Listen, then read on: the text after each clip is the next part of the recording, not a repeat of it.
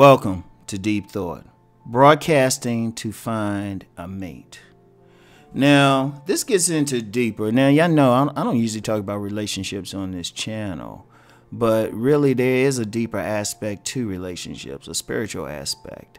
And when I say spiritual, I don't mean in the terms of the of orthodox religion or you know doctrin, doctrinal religion. I don't even know if that's a word. Anyway, you know, not like, yeah, you go, you say certain prayers and all of that, but more on an intangible thing when I talk about spirit. That's the intangible thing. You can't really see it, but you can feel it. And it's the spirit that animates the body. Now, that spirit is an energy, it's a broadcast, it's a frequency, it's a vibe. So, you know, you want to get to the point, if you're looking for a mate, you have to broadcast a certain energy. And now it's not about necessarily now you know people who follow me on my other channel know I talk about the uh, uh, body game and getting yourself in shape, but that's really just an outer manifestation of your spirit. And I'm gonna, I'm gonna get more into that uh, in the next couple of podcasts. But broadcasting, what's your energy? It comes down to your mindset your mindset. That's the key. That's the key. So, the first thing is, what do you really want in a mate? You need to you need to be very clear in your mind. Like some people, they just meet whoever, but then if you talk to them, that's what they broadcasting. Like, oh, anybody's good for me, and and then it's like they keep running into like some crazy folk, and then they can't figure it out. I'm like, well, that's the energy you giving off that you're open and that's what you're seeing but if you have if you if you consciously sit down say okay this person needs to be this this person needs to be that as long as it's realistic too well even if it's not realistic i'm gonna get into that in a second you know you have to broadcast basically you have to have that in your mindset okay this is what i want. This is what happens when you do that on a practical level. It's not a magic thing. Say you want um, say you're a man, you want women who look like fashion models. And you walk around like that, your energy is going to broadcast that, but then subconsciously you start, uh, if you really truly want that, you're going to start going to places where they're going to be at and have that broadcast thing. So you say, okay, I want a fashion model looking woman. Well, you should be looking at, you should be thinking, or your perceptions or your impulse will be to say, okay, where are they going to be at?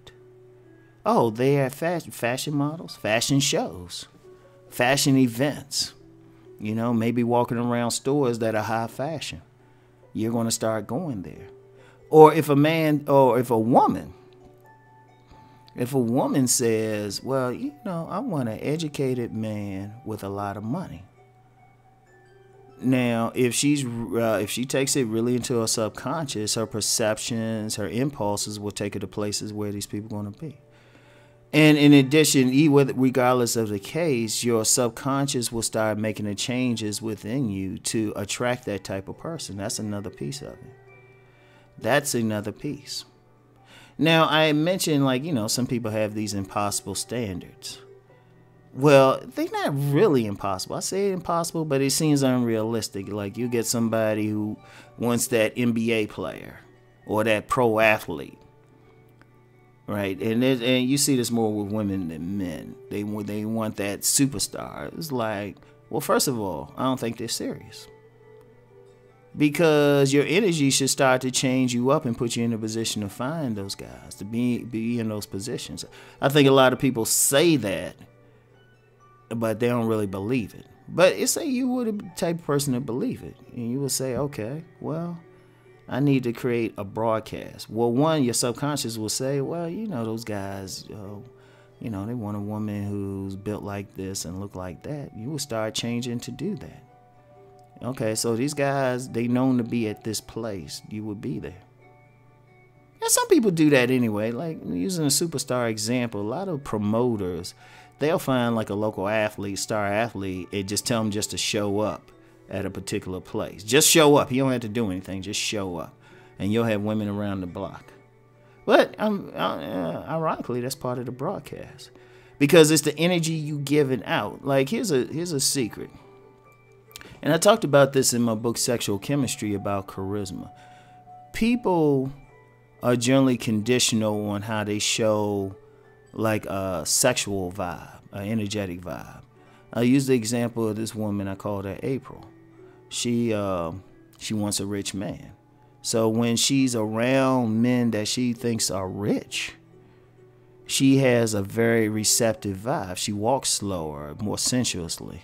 She's smiling more. She's giving off the energy of, yes, I'm receptive to you. And she's broadcasting that energy. But when a woman is around guys who she don't think, when the same woman is around guys who don't, she don't think of as rich, like she might call them dusty or something. She's more defensive. She's giving a broadcast of not. She's giving a broadcast of, yeah, don't come near me. Now, see, here's a little problem with that. That's your conscious mind. Her best thing to do in that particular case is to have just an open broadcast. Let me explain what I mean by that. It means she's just broadcasting her energy. She wants a rich man, like, you know, she wants a rich man, but she's taking, by broadcasting energetically, she's taking her conscious mind out of it because she's consciously behaving a certain a way around a certain group of men she think are rich. And then behaving another way around a group of men she think are poor. But the reality is the men she think are rich are faking the funk. You know, they living in mama's basements. You know, they borrowing, you know, they renting out a high luxury car. They spending their little bit of money on a high luxury car. A lot of men do this at clubs and stuff, in places where there's a bunch of women who are uh, trying to level up, so to speak. But yet, the men who are actually rich are in that group of men that she think are poor because they dress more modestly and they behaving more modestly. You know, they driving regular cars. But a reality out here, that's what a lot of men do. If they actually have money, people who have money actually try not to show it. You know, because they're more focused on putting their money into assets, uh, you know, income producing assets rather than wearing it on their back. Now, if she had an open broadcast where she's just broadcasting the energy and is receptive to whatever comes her way, she'll find one of those modest dressing guys will probably approach her, say something, and if she's open, she'll find out, oh wait, this guy got something going on. That's how it works. Because the answer to the uh, the one the person the mate who's going to pick up on a broadcast don't always come in the package that we want. Yeah, we can write down what an idea what we want and everything, but the broadcast is more of a spiritual thing though. So it doesn't come in a, it, it's not it don't often come. Like if somebody's broadcasting, "Hey, I just want to meet I just want to meet men, period." And then they were like, "Well, damn, how come all these men coming up?" Because it's, you know, it's not stuck on one thing. It's just broadcasting. Like any broadcast is just gonna go out in the area. It's not gonna be most cases it's not going to be a directed broadcast. You know when something starts transmitting it goes in a circle so it just goes out. So when that person's broadcasting something everybody who comes to that energy boom that's who they meet. And in fact on a higher level shoot that broadcast can really go across the world. You know you just have to have the means for that person to get to you now, it's some deep stuff, but it's an energetic thing. It's an energetic thing. Western science is actually starting to catch up on that.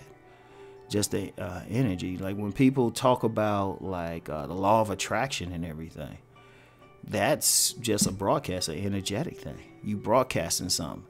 And it starts with a conscious thought about what you want, and then let your subconscious take over. It's kind of like how prayer works.